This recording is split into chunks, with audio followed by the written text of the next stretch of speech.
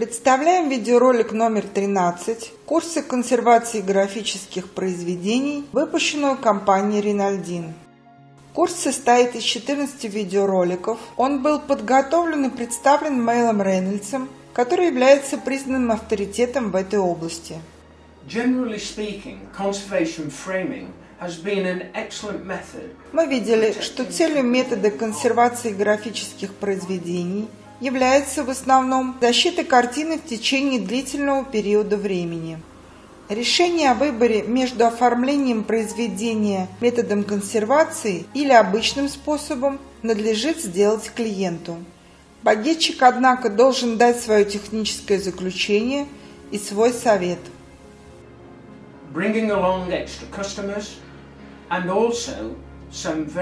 Когда клиент приносит багетчику старинный стамп или произведение художественной ценности на бумаге, сразу необходимо изучить его состояние и внести все дефекты в квитанцию.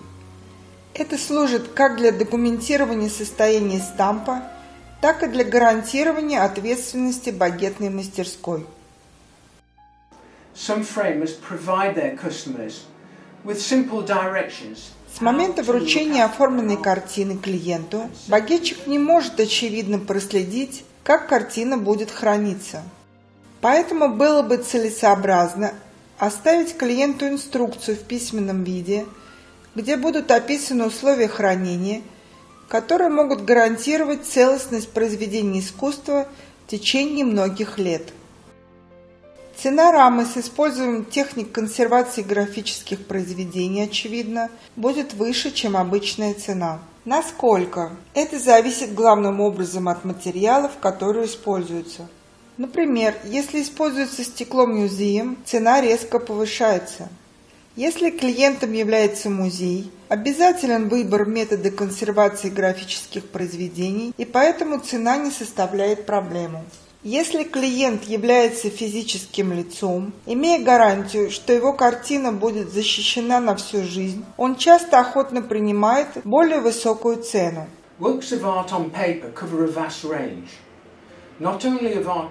Багетчик, который собирается специализироваться в этой области, найдет много возможностей для роста, так как тенденция выполнять оформление картин методом консервации распространяется все больше. Кроме того, для этой специализации нет конкуренции с готовыми рамами из торговых центров.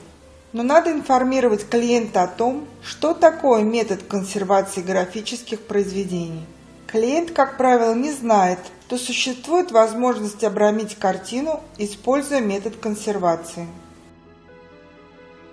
Багетчик, следовательно, должен держать на прилавке для клиентов некоторые информационные брошюры, которые объясняют, что такое консервация графических произведений.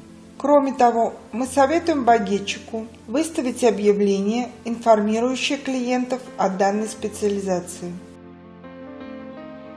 Было бы также полезно отправить письмо электронной почтой местным учреждениям, которые могут быть заинтересованы в методе консервации, таким как музеи, картинные галереи, библиотеки, университеты и общества культуры, а также антикварам и реставраторам. Вы найдете все изделия для консервации графических произведений на сайте www.rinaldin.com.